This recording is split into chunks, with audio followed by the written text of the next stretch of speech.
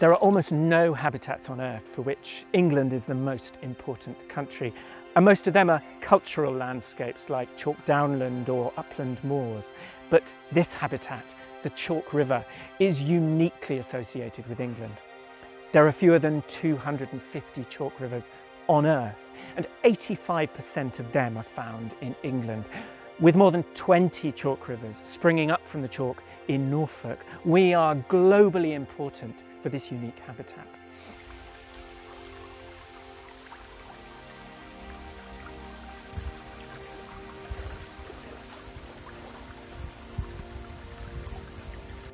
A host of rare and scarce organisms are associated with our chalk rivers. These fast-moving gravel beds are the spawning ground of the wild brown trout and a habitat for bullheads, and they're in turn hunted by otters.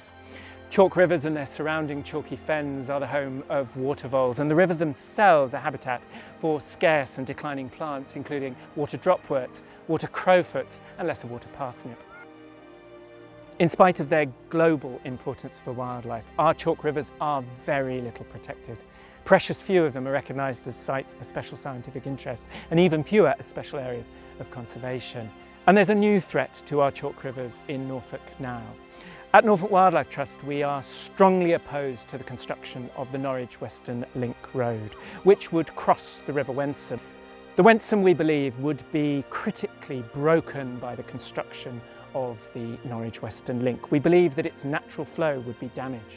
We believe that the corridor which allows wildlife and its genes to move through the county would also be damaged. We'd love it if you came along on this journey with us, so please check in regularly with our website and with our social media to see what you can do to help us oppose the construction of this deeply damaging road.